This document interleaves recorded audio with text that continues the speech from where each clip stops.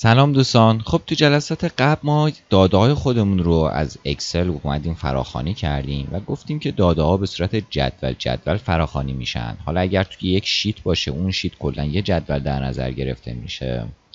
یا اگر تو خود اکسل ما تیبل های مختلف داشته باشیم هر یه تیبل یه دونه جدول تو اینجا در نظر گرفته میشه. یا اینکه می‌تونیم مثلا از پایگاه داده های دیگه داده ها رو فراخوانی کنیم. اما یه سری داده ها هستن که باید ثابت باشن.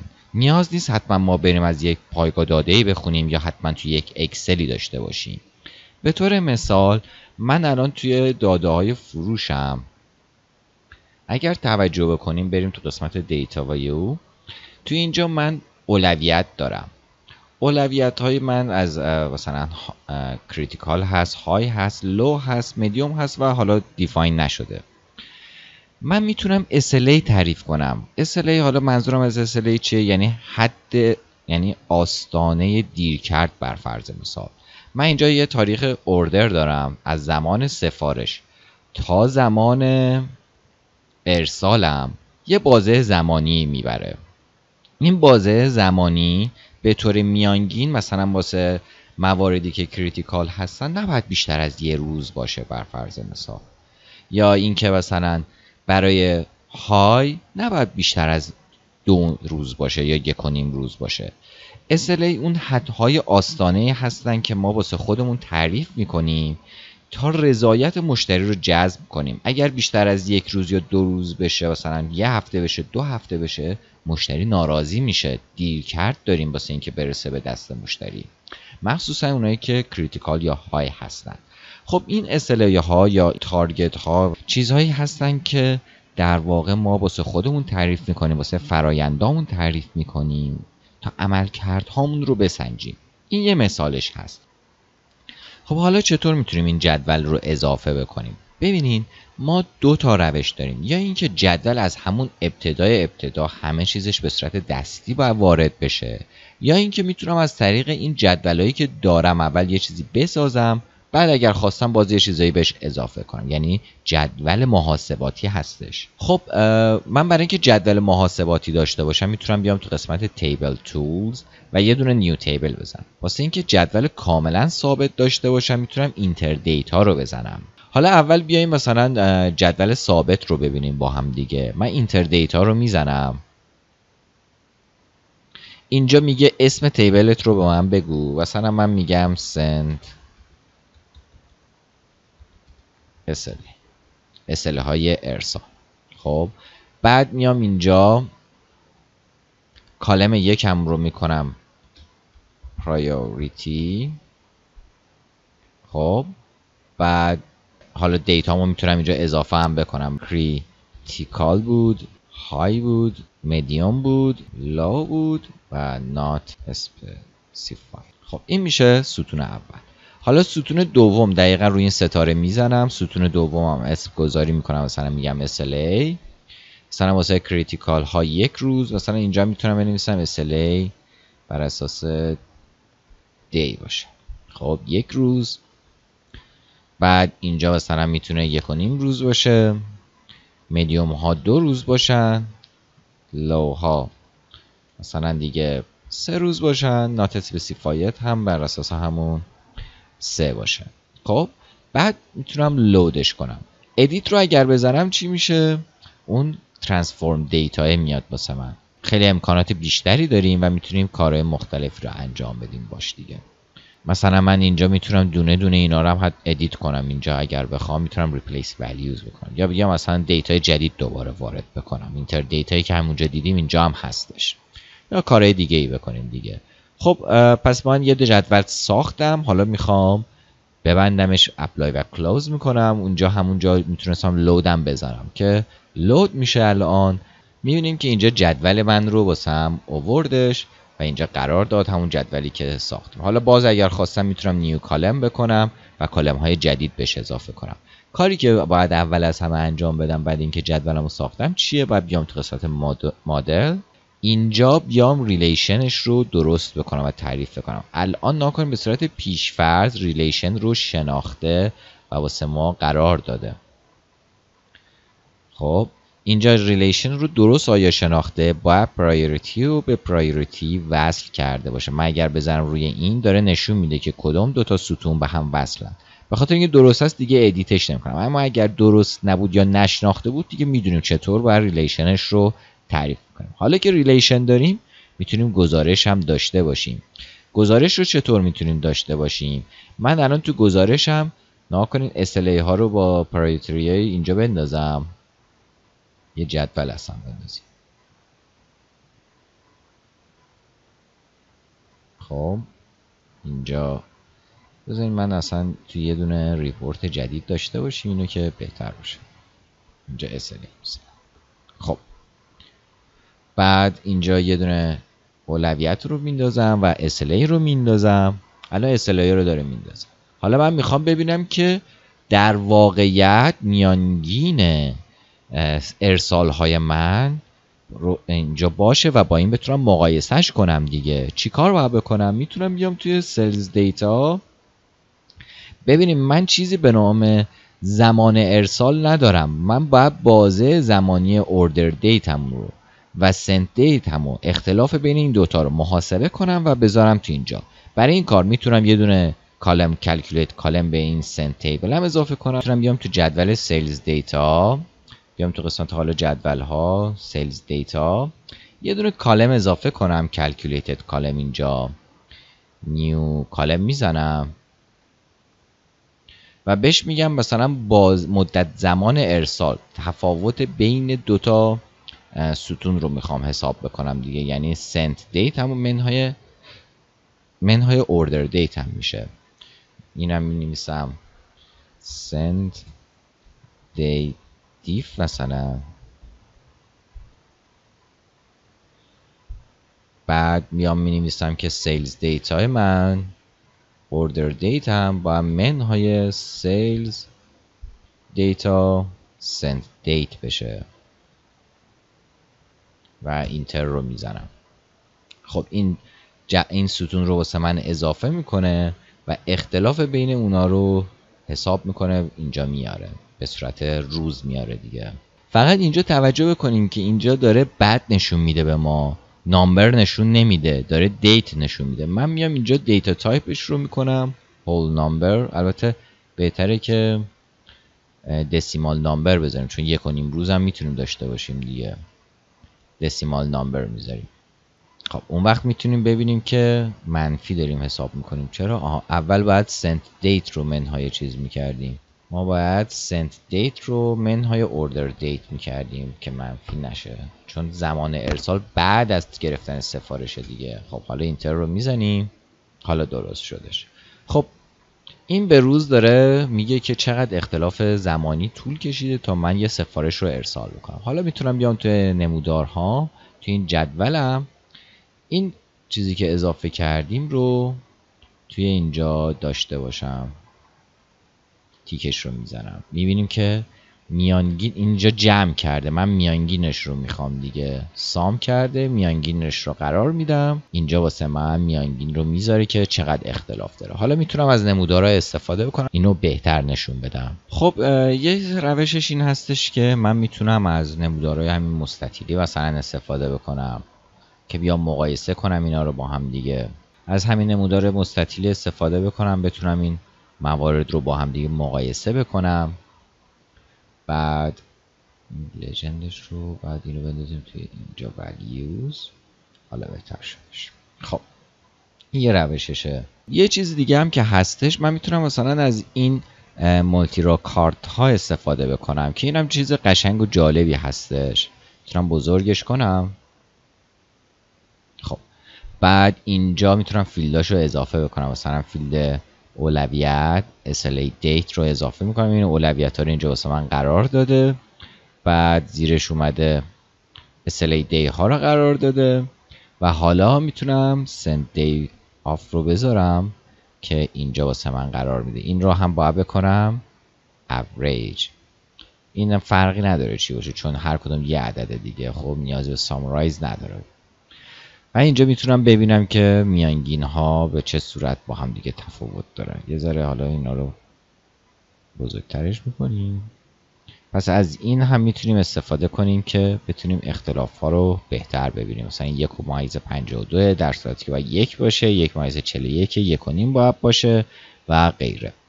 خب یه نمودار دیگه هم هستش که نمودار KPI هست. این نمودار KPI چی هستش؟ همونطور که می‌دونین KPI مخفف Key Process Indicator هستش یعنی شاخص های کلیدی فرایند. ما این شاخص های کلیدی رو در طی زمان اصولا بررسی می‌کنیم. ببینیم آیا شاخص خوب هستش توی بازه ما قرار گرفته یا نگرفته. برای این کار ما نیاز به بازه زمانی داریم. مثل این نیستش که اینطوری نشونش بدیم. چیکار باید بکنیم؟ مثلا میام اینجا اینجا می‌بینید دیگه indicator دارم trend axis دارم یعنی اینجا trend من بر اساس چی باشه؟ روند و بر اساس چی بکشه و target goal دارم. target goal من چی هستش؟ این SLA هستش. اینو tick شو می‌زنم.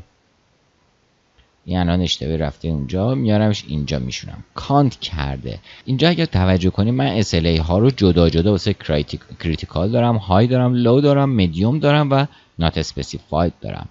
اگر بخوام همه اینا رو با هم در نظر بگیرم چطور؟ می‌تونم اوریجش رو بگیرم. پس حالا می‌تونیم minimum maximum رو هم در نظر بگیریم. اگر سختگیرانه بخوایم بریم جلو مینیموم رو در نظر می‌گیریم. اگر ساده تر بخوایم بریم جلو ماکسیموم رو در نظر می‌گیریم. اما الان چون من می‌خوام متوسط باشه همون میانگین رو می‌گیریم.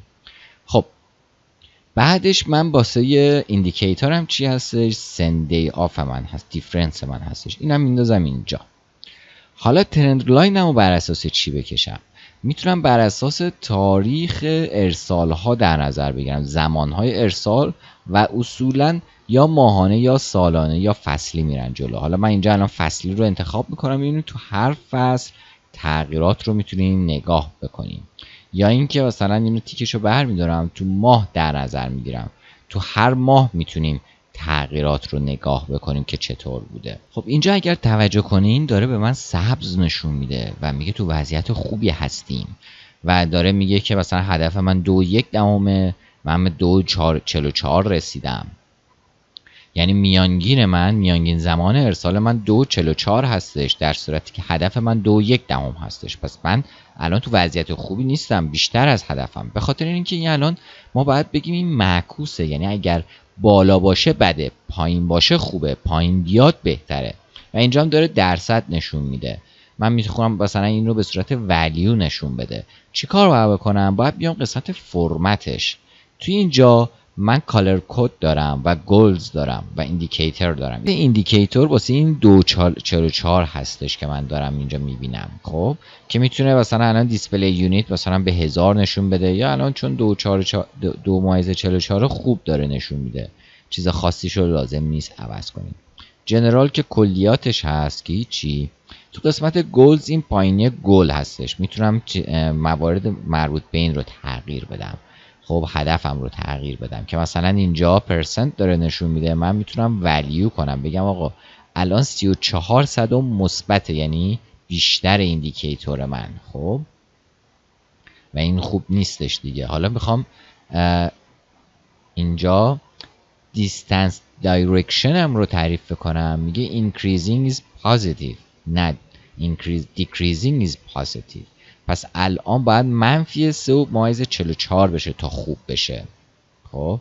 من منفی 3 minus 44 تا باید بشم. بعد حالا این البته سلیقه‌ای یا می‌تونیم مثبت منفیشو خودتون تعریف بکنین چجوری هست. color code هست که مهمه.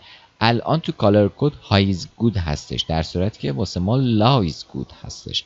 الان چون زیاد هستش باید قرمز باشه و هر چقدر کمتر بشه بهتر هستش دیگه. خب پس الان به حالت قرمز رسیدیم. دیت من آفه اینو آن می‌کنم. مثل دسامبر رو داره نشون میده. یعنی واسه آخرین ماه رو داره نشون میده. آخرین ماه سال هستش که داره نشون میده. الان یه چیزی رو توجه کنیم من اینجا کلیک بکنم. این رو بزرگش می‌کنم. من می‌خوام شو از تیبل رو بزنین. اینجا داره نشون میده که چجوری داره محاسبات رو انجام میده. این الان اسلیه تونه که دو یکه. تو ماهای مختلف رو داره بهتون نشون میده که اینا هستن. آخرین ماه منم دو مایز 44 هستش. یعنی روند رو داره به من نشون میده و اینجا دارم می‌بینم که آخریش چقدر هستش. من می‌تونم یه کاری هم بکنم دیگه. ترند آیکسم اگر آف بکنم فقط این عدد آخر دسامبر رو ببینم. هر وقت که اضافه میشه ماه جدیدتر رو دارم می‌بینم دیگه. و بعد می‌تونم فیلتر واسش بندازم. هم می‌تونم فیلتر رو بکنم آقا من می‌خوام بر اساس آخرین سال ببینم دیگه. اینو می‌تونم بندازم توی filters اینجا بعد بیام اینجا بکنمش basic filtering و بعد بکنمش مثلا 2012 که اینجا می‌تونم سال به سال ببینم. خب آخرین سال رو دارم. که الان بس آخرین سال مثلا ماه دسامبر توی بازه ما هست. یه چیز دیگه هم که دوست دارم داشته باشم فیلتر روی اولویت ها هستش. یعنی به ازای اولویت های مختلف رو هم ببینم دیگه. که می‌تونم این priority هم بندازم توی فیلتر اینجا و بعد می‌تونم اینجا فیلتر کنم. گفتیم که اگر داشبورد رو بخوایم در اگر بخوایم اینو در اختیار افراد بذاریم توی پاور بی آی cloud می‌تونن اینجا بیان خودشون هم این کار رو انجام بدن. الان من می‌تونم روی هر کدوم از اینا که خواستم کلیک بکنم و اونا رو با هم ببینم یا جدا جدا برم. یا اینکه می‌تونم اصلا بذاریم بیام back بکنیم توی report مون بیایم توی این report. می‌تونیم اصلا اینم کوچیکش بکنیم. یه دونه slicer واسش بندازیم که اولویت اینجا باشه. من اولویت هم میندازم توی اسلایسر هم خب حالا اینم می‌تونم بکنم دراپ دان حالا می‌تونه مثلا سلکت آل رو هم بزنم. حالا این رو هم میارم این بالا اینجاش قرار میدم. حالا اینا نموداره هم می‌تونین داشته باشین. این رو هم داشته باشین. که به این صورت مثلا یا همش رو آن بکنیم. بتونه ببینه یا اینکه نتونه ببینه. الان یه کاری بکنیم. به جای اینکه من اینجا فیلتر سالانه داشته باشم و ماه به ماه ببینم بهتره که اصلا فیلتر سالانه داشته باشم. خیلی وقت ما KPI هامون سالانه هستش دیگه. اینجا سال رو میندازم.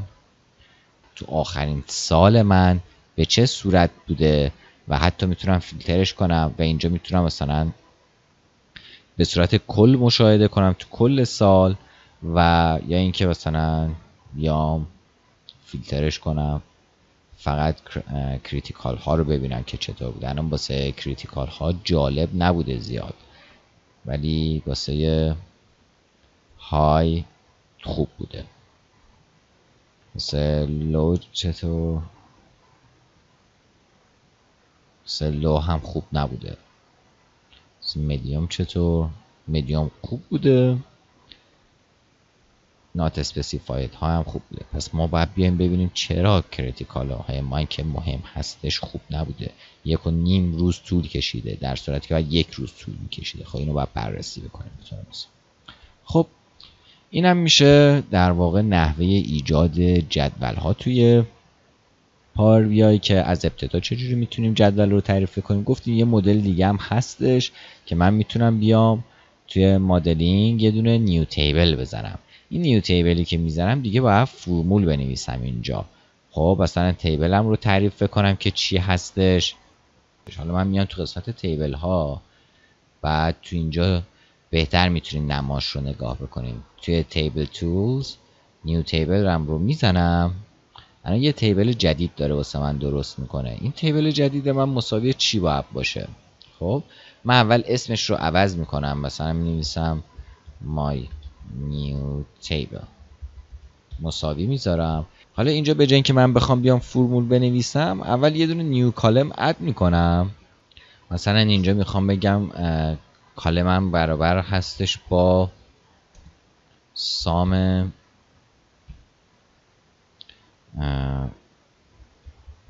sum مثلا profit های من.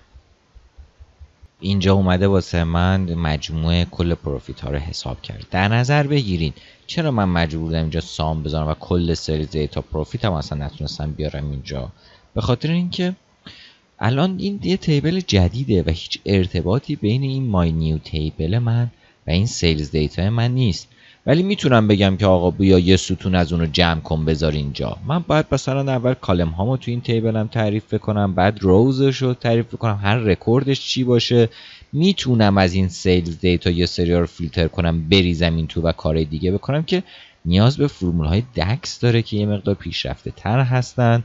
و ما اینجا اگر نمی‌خوایم زیاد وارد فرمول های DAX بشیم که زمان گرفته بشه. بیشتر می‌خوایم در خصوص همین خود پاور بی آی و چطور می‌تونیم report خوبی تهیه بکنیم صحبت کنیم. بخاطر زیاد وارد فرمول DAX الان نمیشیم و از این دیگه خارج میشیم و ما new table رو دیگه همینطوری فقط می‌ذاریم باشه که استفاده نمی‌کنیم فقط توجه کن رنگش هم فرق داره این my new table اینجا.